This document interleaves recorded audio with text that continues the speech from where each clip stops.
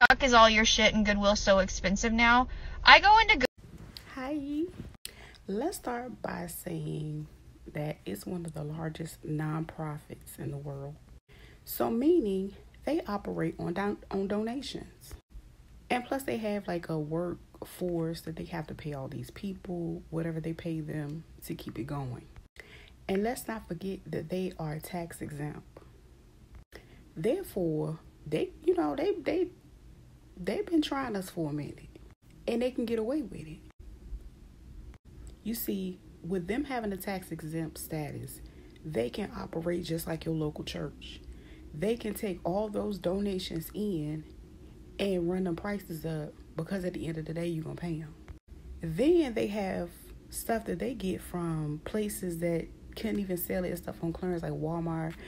Um, I want to say Gabe's. I seen some Gabe stuff in here too. At the end of the day, all of them, like, so basically, when you get it from, they get it from, like, let's say Walmart or Gabe's. That's a for profit business. So that's just like a tax write off given to the Goodwill. And whatever the Goodwill do with it, it's on them because. So the crazy thing is, for a long time, everybody kind of skipped over like the DAVs and the smaller ones as the Goodwill continued to explode. So now we stuck going in there, like you said, buying a five dollar t shirt that somebody got on clearance for like a dollar at Walmart. Then you factor in the economy.